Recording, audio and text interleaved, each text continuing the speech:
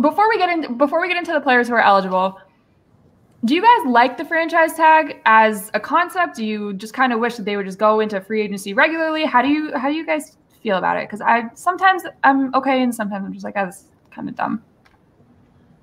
I'm what totally against it. Yeah, I think yeah. it's the biggest BS in all of sports. You have these players that are putting their lives on the line. Football is probably the most brutal sport outside of combat sports.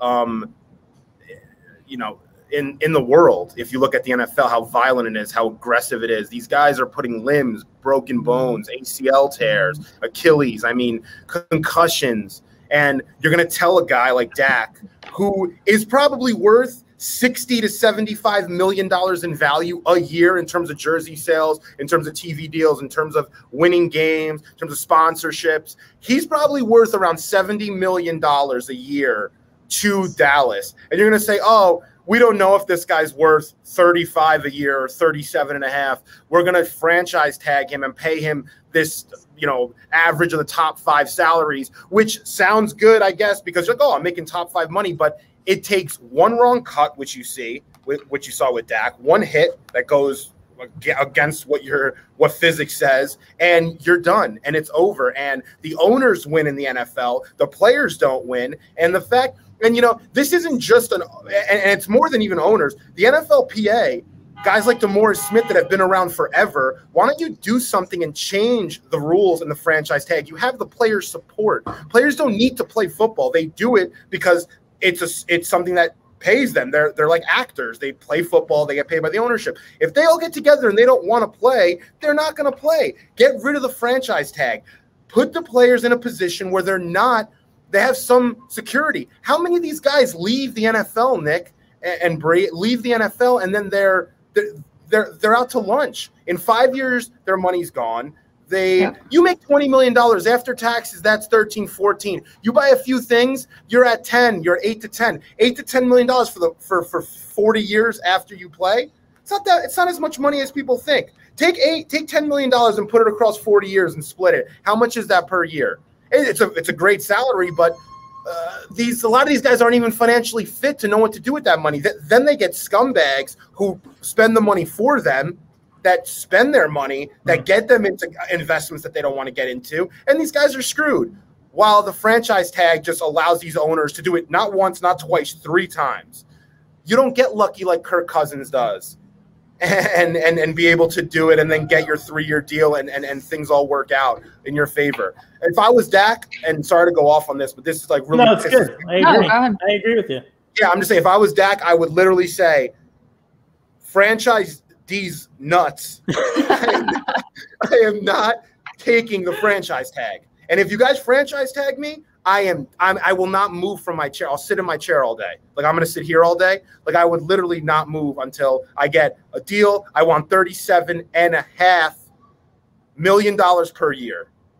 Yeah, I, I, agree with pretty much everything you said, dude. I, I, completely am on board with. I hate the franchise tag. Not only you know, let's talk about being selfish as a fan too. It, it takes so much juice out of free agency, right? I mean, this year you're going to have Allen Robinson, Kenny Golladay maybe Hunter Henry, our, our, our guy, you know, Leonard Williams, Shaq Griffin, uh, Shaq Barrett, Brandon Scherff, possibly, even though they say that they don't expect it. Like it takes the top talent off the board, and these guys have to wait another year to hit the open market and, and cash in.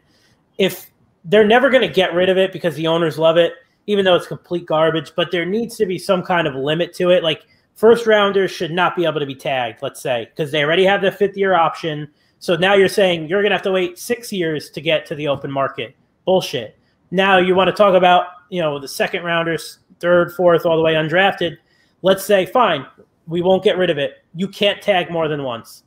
That should be the old. that should be like the starting level for the yeah that should be baseline. There's definitely. no way you should be able to franchise tag two, three years because let's say you got a 24 year old, let's say 23 year old coming into the NFL you if you make it, even though the you know the the the shelf life of an NFL player is like three years on average.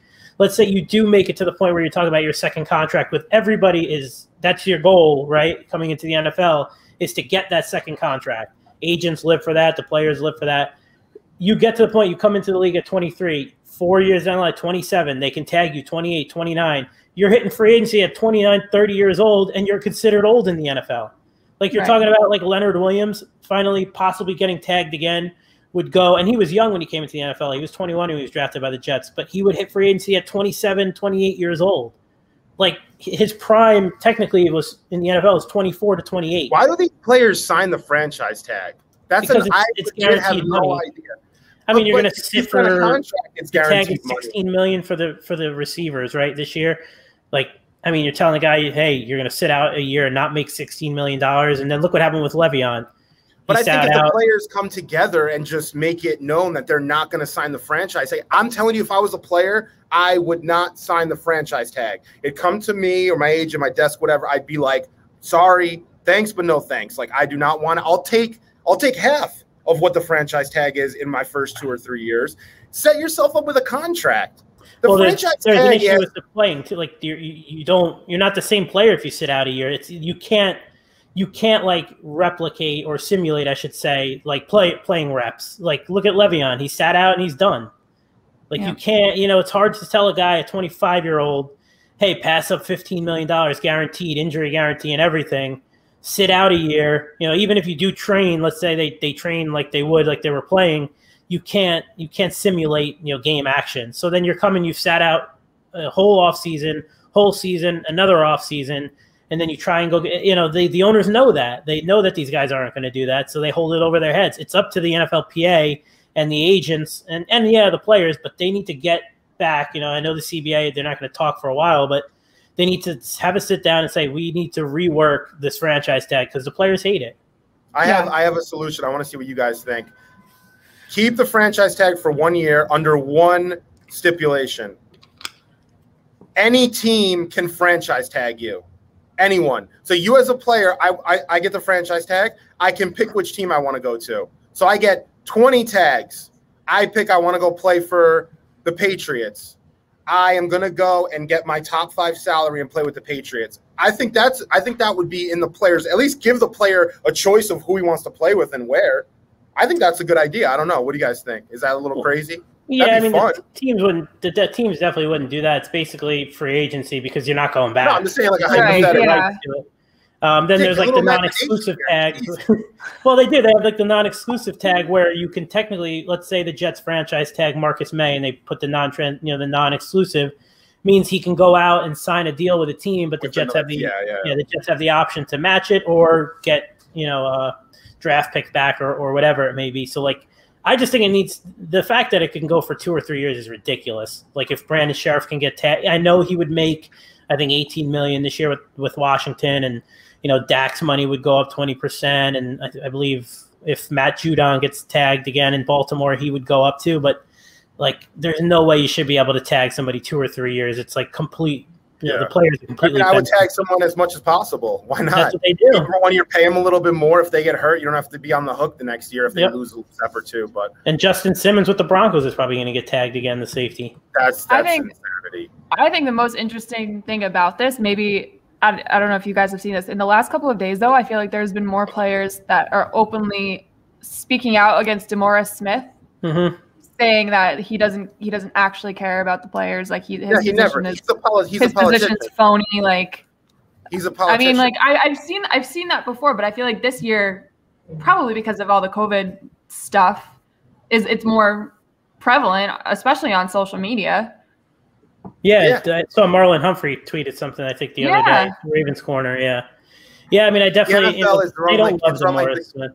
it's run like the government in a sense too. You have Roger Goodell who's the, in charge, and then you have DeMaurice Smith who's supposed to be supporting the players. But when him and Goodell get in a room together, they do what's best for the owners, league. baby. It's The all owners about lining their pockets, man. They know. Right. Yeah, They of course. paid too with with these deals. Yeah, something needs to be said. I'm glad we actually talked about this on the show because I mean, when we start talking with players, Nick, about doing shows and we have relationships with a few guys, I mean, I want to let them know and, and, and change something. This is not good for them, and it's not good for their families more than anything. Their Yeah. families get screwed, um, and uh, yeah, it, it's it's a bad situation, but it, it probably won't change anytime soon until unless players come together, which is what needs to happen. hmm Yeah, but then Is I feel like dark that, here? it- it is I gotta go dark out soon, y'all. Kind of nice. It's I- the twilight Yeah. in Miami. It's nice. So nice. I